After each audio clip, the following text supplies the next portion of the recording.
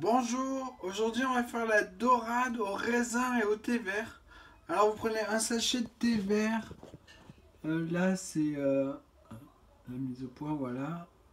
C'est le moins cher, voilà. Alors vous le mettez avec un peu d'eau dans une casserole, vous faites euh, bouillir 5 minutes. Et puis vous éteignez le feu et vous enlevez le sachet.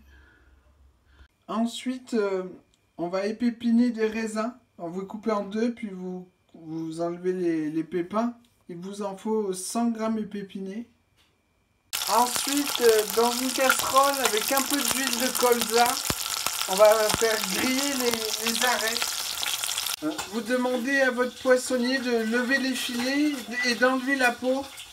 Il vous reste les arêtes à enlever là, avec une pince. Une fois les arêtes grillées, euh, mettez l'huile dans une tasse à refroidir pour pouvoir la jeter à la poubelle, pas dans l'évier. Hein. Vous allez euh, enlever l'huile donc et mouiller à hauteur.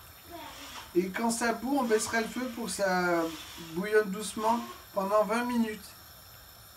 Alors pour les arêtes, euh, vous, en, vous, en, attrapez une et vous tirez. On peut aussi le faire normalement avec un, économe.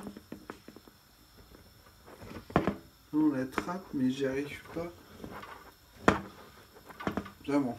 Ça marche aussi, j'y arrive pas. Voilà comme ça pendant 20 minutes. Après 20 minutes, euh, vous filtrez. Puis vous réunissez, réunissez dans, la même, dans la même casserole euh, le thé, le bouillon d'arête, les raisins. On va faire réduire euh, pour, euh, pour qu'il y ait assez de sauce pour euh, deux filets. une fois qu'il y a presque plus de, de, jus, vous arrêtez la cuisson, vous laissez tempérer dehors. Puis dans un grand sautoir, avec la même huile de colza, on va faire griller les filets de, de dorade. Pendant ce temps, dans un petit pot, on va mixer le, la sauce. Puis on va la saler, pas de poivre. Hein.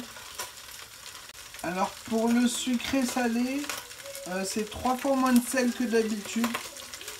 Pour savoir quand c'est cuit, euh, vous appuyez. Et si, euh, si ça lâche un peu, que le poisson se déchire, commence à se déchirer, c'est bon.